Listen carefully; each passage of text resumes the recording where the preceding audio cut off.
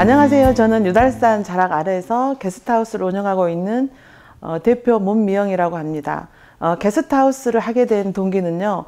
어, 다른 일을 오랫동안 하고 있었는데 주말에는 제가 좋아하는 일이 등산이어서 유달산 둘레길을 한 3, 4년 정도 돌다가 우연한 기회에 나중에 골목길 투어를 혼자 하게 되었어요. 그러다 우연찮게 또 이 집을 만나서 어, 구입을 하게 되었습니다. 그래서 시간이 흘러 흘러 어, 제가 게스트하우스를 하게 될 줄 몰랐지만 지금 이 자리에 있네요. 저희 집은 총 두 채로 나뉘어져 있는데요.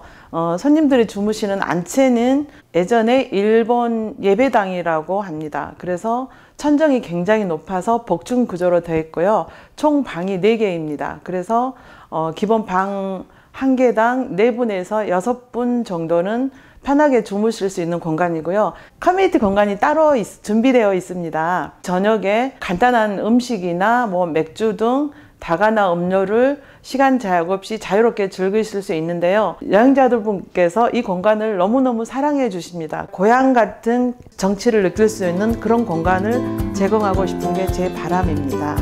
저희 게스트하우스를 사랑하여 주시고 내 집처럼 아껴주세요. 여러분 모두 행복하세요. 감사합니다.